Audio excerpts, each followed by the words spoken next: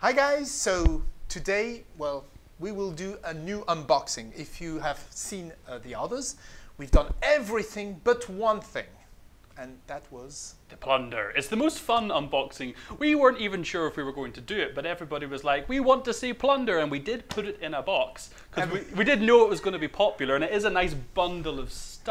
But we never thought it was a, compared to the other boxes, this is kind of like a little baby. yeah, it's a it's, it's a small one, but it will come with Wave One, hmm yeah. uh, and it's the last one from Wave One. We are actually now reviewing Wave Two, so we will show you this soon. If you Uh, haven't seen the palette of yeah. dragons, you need to head to the Mythic Games Facebook and just see rows and Oh, rows and rows yeah. of dragons. It's it's heartwarming. Yeah, and what you can see here is a little example of uh, a game. Uh, well, using Wave One. You're here. We're in the studio. We have a map set up, but no, we'll just do an unboxing. But if anyone's, you know, can put two and two together, we might have some stuff in the future. And it's interesting also because when we open this uh, this box, we will compare uh, what we have with uh, what you had in the core box because the, the purpose of the plunder it is to give you something better. A bit more luxury, a bit more upgrades, a bit more flexibility. Yeah. Shall we have a look? Yes. All right, get it. Who should open? You, c- you get. You're the unboxing champion. You can open it. You, you know what you're doing. I, I know how to open Yeah. a box. So if you did get the plunder, it will come just like this. We decided that Yeah. we would take the banners, we would take the bases, we would take the dice, we would take all the elements inside, and we'd put it all and the dice tower all inside one box. So you get it delivered So like you this. get one box. Still, of course, it's not as fancy as the ones we had before, but it's still a. we don't expect you really to use this. Once you No, build your dice once, tower, Yeah, once you've used it, you'll put it in your box, uh, in your core box. So, uh, what do we have? Okay. So let me get. I'll get my close camera out here. So we have our two two bases. So these are the bases for knights and for wolves. Yeah. We have a huge bag, a simply massive bag of the triple unit bases. And the big thing, important to note for these, this, the most probably relevant thing is that if you got the stretch goals, of course, which everyone did who got the core pledge, these will cover all the bases you need for all of those stretch goal minis. Now, should look better. We've also got So that a bag of means you could you could glue all of them yeah. If if you If you use, really wanted, yeah. if you really wanted. It's not necessarily what you want to do because uh, being able to take them uh, away means you can you can mix them with different. Uh, Yeah, and we're, we're going to show you what we yeah. do as well, because yeah, we, we actually used a little trick. So we've also got then a little bag of extra dice. This, this is fantastic. So this takes you from five to eight, which is a really useful number if you're having big battles. If you're using the mass battle system, this is great. honestly, having eight dice is It's really yeah, it's very nice. Uh, it's a very comfortable. You don't Yeah. have to uh, put some dice again and re-roll them. You, Yeah, it means if you're playing with two players in a smaller battle, you can kind of each have your own. Like Yeah, four each is absolutely, fine. If you're playing a bigger battle, it means yeah, you have those eight dice for when you have kind of six or eight units going at each other. Absolutely. So it's not necessary for every single scenario you play, but it is a nice thing to have. Um, we've then got the bag of banners. Oh yes. Now these are plain at the moment, but we're going to have some fun with this in a second because of course it comes With the sticker. with the sticker sheets. I want to say so. Take this opportunity to say that in the plunder, what will happen is we. I read. I got a bit excited. I'm sorry, guys. I did a little bit of unboxing on my own. The dice tower, which we'll come to in a moment, comes wrapped in film, and these will come wrapped up with your dice tower in the plunder. If you got the activation banners on their own, you'll get a little baggie with these, just just kind of rolled up and kept separate, so they're they're protected as well. So don't worry, you get the stickers with the banners or inside the dice tower, depending on whether you did plunder or on their own. Um, then we have the dice tower. I'll switch to this camera for the dice tower because it's obviously massive, so you can show it. I'll take this sheet away. This is just a protective, uh, a protective white. So layer. yes, this is uh, the dice tower. sorry, my it bad, comes. It comes with two. Uh, it comes with. Yeah. Yeah. yeah, two sheets. Two sheets, uh, and it allows you to instead of rolling on the table to roll on a beautiful uh, medieval tower. Now I don't want to give anything away. That well, I mean, to be honest, I've already given it away, haven't I? But we're going to be rolling some dice in the not too distant future. So I would very much like to see you build okay. this tower. You know, we haven't prepared anything. We're going to try and build it. Well, somewhere done in France by the other guys. I've never done it myself. I've never has done it. done it, and we're going to try and do that. Uh, Oh, together? Yes, gonna- together. So yeah, if anyone was paying a really keen, uh, we're gonna pop out. Oh, I love the little um, what do you got? Parapets or these little, uh, the little. I mean, they're not windows, are they? Um, someone in the comments will keep me right on the terminology, but the fact that these little details on the side are just gorgeous. If you're paying attention on social media, you will have seen some sneaky pictures on Leo's Facebook and on the Mythic Games Facebook where we were testing the battle mode, and there was a dice tower in the back of that shot, and that's the only one that's been Yeah, uh, built and tested to make Yeah. sure it all worked and looked well. Um, this is the first one in the UK office, and I hope I hope by building it now, I get Oh, lucky when I roll against you. Let's make sure everything's. So, how does this work? Um, probably something like this, right? I would say. Right. Oh, we're just we're just going to do this without even yeah. Yeah. So that's yeah cool, and then this will be on the other side. Yeah. This is this is like hobby arts and crafts. Let's see if I can see it. You can see what you can see what we're up to here. Okay, Um, I've got the back here. Oh, you've got the no, that's the front. Sorry. And I've got these are our these are so obviously I'd our say this would go logically Yeah. here, Mhm. right? And then I'll have one. I'll have one for the back as well. Oh yeah, this is. I was actually going to be worried that we were going to completely mess this up, but this is easy peasy. So Yeah. in, in like that. Yeah. Oh, I love the logo in the front, right? Okay, I've got one for the back too. Oh, hold on. Let, no, let's put in the. Let's put in the uh, Yeah. the bouncy bits. What are the bouncy bits called? There must be a technical term for it. These will be the dice rolly numerator. Oh yeah, because you Oh, roll the dice. We need to put one in. The, hold on. We need to put one in the front. Take- there you go. Put it in the front first. Yes. so put all your dicey rolly numerator bits in first. Down a bit. There we go. yeah. And then we'll put this on. Very very simple, honestly. Yeah, two two old men who don't get anywhere near enough sleep and drink far too much coffee can easily do Yeah. this. There you go. And then Now you know what's going to happen now, right? Is we're going to have to test roll this in a second, Leo, yes. and it's going to be a really big roll. Like this, ha- this is going to be the first the first roll of this dice tower. yeah. There we go. Are we in? Yeah. Oh, I think. Yeah, that's it. Push. no. Um. We're looking good.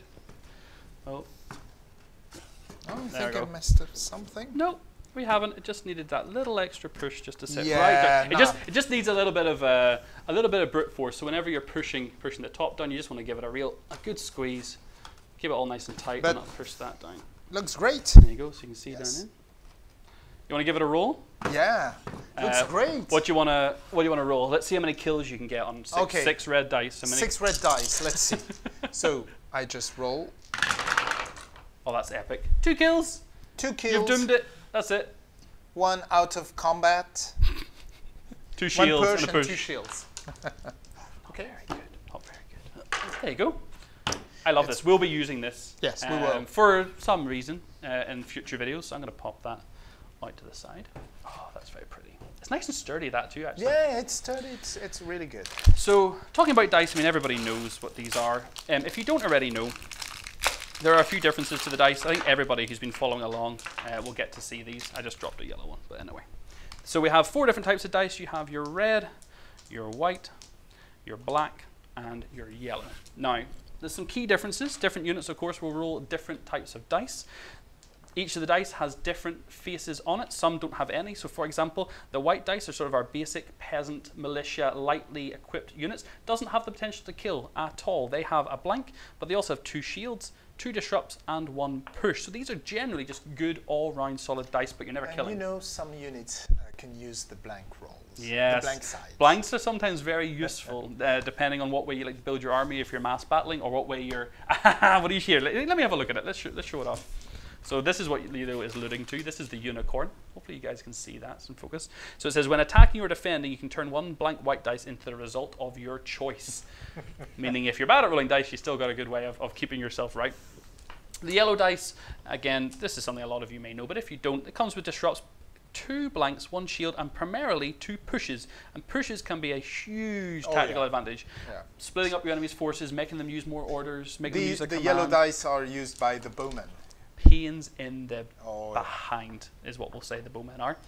We've then got the black dice. These are really your defender's favorite. The reason is they have a 50-50 chance of rolling a shield, which is going to nullify attacks. They also have disrupt, And one kill. disrupt, and a kill. These are really the solid dice, aren't they? They're the, they're the backbone of a lot of the big units, like the knights, like the foot knights. Yeah. Angels roll two of these in defense. Boo. and then we have the probably the most vicious dice in the game by, by a long way, which is our red dice. They come with only a single shield, two kills, two disrupts, and a push. So one third chance of actually getting a kill, and one third chance of a disrupt. These guys are So you have a shield. So when you have guys who uses who use red dice to Yep. defense, and if they have retaliate, it. You've got an example there, actually. Well, this is an interesting one because these guys use black dice on defense. So the great thing about retaliation units, if they have the retaliation keyword, is your defensive dice will do its uh, whatever you roll will do it back to the enemy. So not only is a black dice good here for defense, but if you happen to roll that kill or that disrupt, whoops, there we go. You actually do that back to your opponent, which is which is just great.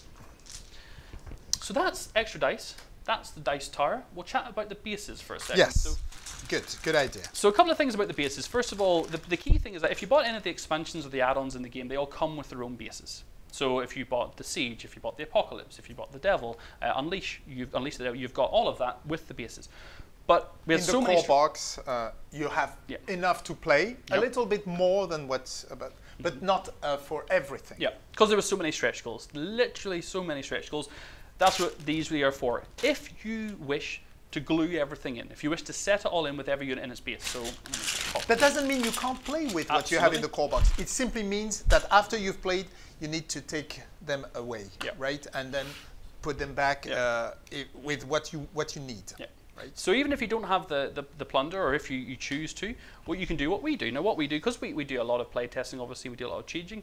You can the bases are easily removable. I'll try and get my white hand out of shot here, but you can basically pop the units in and out of the bases, no problem at all. Yeah, yeah. So they are interchangeable as much as you like. And like we do, we put a little bit of what in France they call patafix, or we would call blue tack or white tack here in the UK. Now we, we do this to make it very, very easy to just chop and change units, to change the bases if we want to, and just to hold them in place. But by all means, if you got the plunder box, you will now have enough bases for every unit in the game, for every for the box, box, all the stretch goals plus any expansions you got, you'll have the bases for it. So if you want to glue them into here, you can, absolutely can. That's just going to be up to you. Yeah. But we, we like to use the Patafix, and then also we just interchange it with the bases Yeah. as and when we need to, because we, we chop and change our armies a lot. Yeah. Uh, we use the black and white bases a lot as well. The good thing with using Patafix or blue tack or white tack or whatever is that you can hold them like this. Otherwise, if you hold them, they will. yeah. Uh, So yes, they will hold. They will hold to an extent, but generally speaking, they're not yeah. gonna. They're not gonna so hold. Them. it's very convenient. It takes a little time and very little money because with just a little bit uh, like this, we did all that. Yep. You know, so it's uh, yeah, it's a it's a trick that you should really do uh, for. Well, you don't have to do that for single minis, of Yeah, yeah, course. so we're not- obviously, like uh, the werewolf or uh, the angels. Yeah, these guys don't suffer from that at all. They'll just pop straight in out of their bases. They come as a single piece. or even these ones, uh, because you also have like bases for these ones. We don't, we didn't bring them here. No, we don't have them in the yeah, hand. But yes, but they. yeah, your single heroes again because they slot straight into a base ring are absolutely fine. Um, the last thing then is the banners. Now. Yeah. there's a bit. Leo and I are going to have a bit of a challenge here because, as you'll see, um, After the uh, well, the first, the first thing w- went well. You know Yeah. the. Uh, because that, that was a cooperative game, right?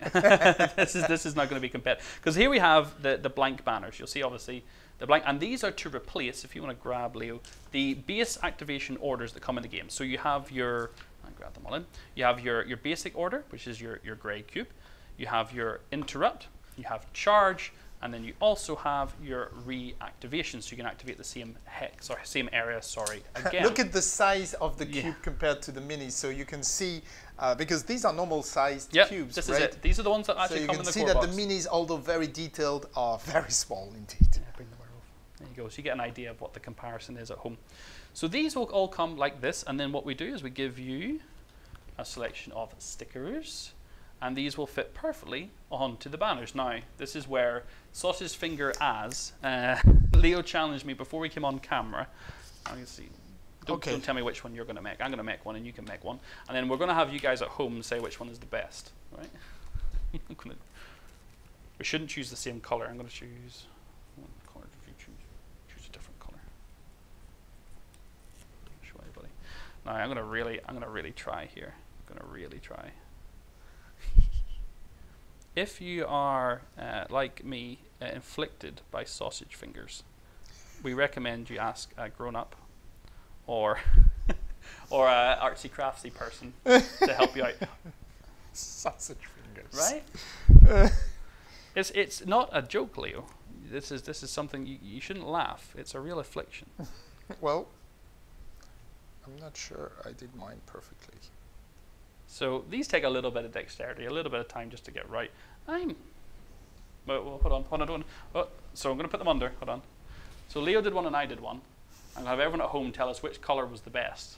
All right, you tell us which ones were the nicest. So here we go. Oh, I don't know. I'd have to zoom in a lot. I think, I think we've both done an okay job actually. Yeah. I don't think Yeah. that's too bad. So we've, we've put them on both sides, which we think is a really nice thing to do because it makes it nice and clear. Oh, I think you've gone wonky. Oh, Yes, That's totally wonky. Yeah, this one was. Oh, I've cheated now. I've said that's yours. Because mine was not wonky. Mine was pretty straight.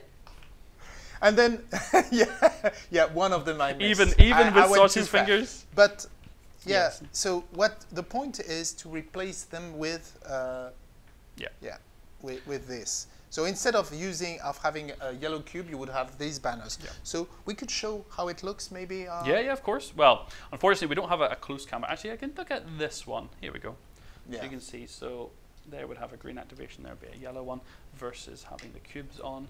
Yeah. So it, yeah, it gives it beside the units. It just has a really nice feel. They sit really nicely behind. Yeah, because it looks like a flag and Yep. it's in, in the battle. So yeah. Yeah, it's, Uh, they're, they're also this. If you're sausage fingers like me, they're a little easier to pick up when they're like this. Oh, yeah. it's a little Yeah, easier to yeah. get in and actually jump them out because a lot of times you'll be picking up five, six, even seven activations at any point, orders off the board. So it makes it a little bit easier for that. Yeah. Well, that's everything you get in the plunder box, basically. Um, that's that's it. If you were lucky enough to grab one of these, so thank you guys for coming along and watching this unboxing. I'm not gonna lie, I want to play some Joan of Arc. Me too. Okay, so look, we'll speak to you guys really soon. Thank you so, so, so much for watching. Keep an eye on our YouTube channel, Mythic Games YouTube, because we're going to have some content coming out there, not just for Joan of Arc, but for other games as well in the coming months. So thanks for watching.